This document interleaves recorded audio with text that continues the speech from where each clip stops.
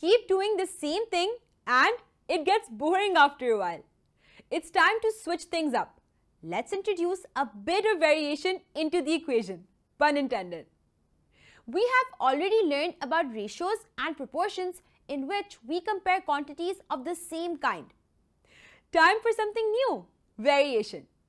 In mathematics, when we compare two things, we use the word variation to observe the change in one quantity due to a change in another quantity. Have you ever observed that during the summers, as the temperature increases, the number of ice cream buyers increases too? Or when building a house, if the number of workers is increased, the work is finished in fewer days. Through these examples, you just saw that there are two types of variations, direct and inverse. Direct variation is when one quantity increases with the increase in the other and vice versa. Like the relation of car speed with the distance covered.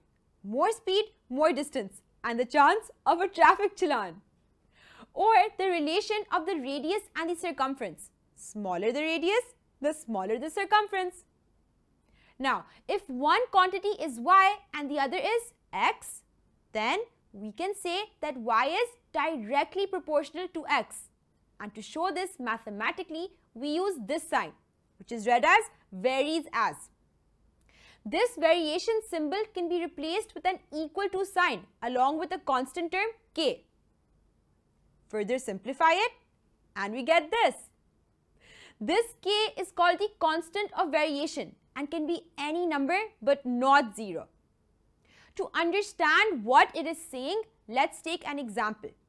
Suppose that one ice cream costs you rupees 20 and this is how we can write this as a ratio. Now, how much will two ice creams cost you? 40, right? So, the more the ice creams, the greater the cost. Why? It is a direct variation. Even if we convert these cost and quantities to ratios and once we simplify them, we see that the ratios are the same as that for one ice cream. So, no matter how many the ice creams are, as long as the cost is varying directly, the ratio will always be a constant. And that's exactly what we were saying.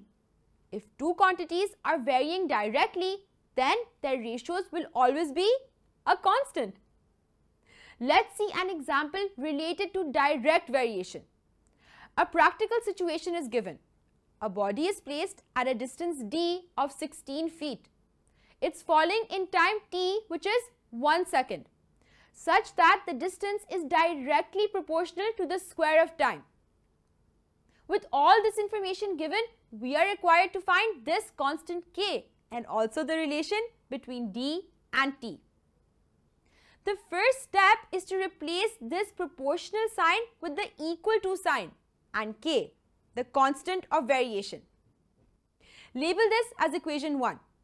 Substitute the values of distance and time in it and we get k equals 16.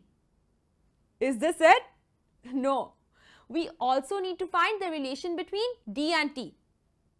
So, by substituting the value of k back in equation 1, we get the relation between d and t as well.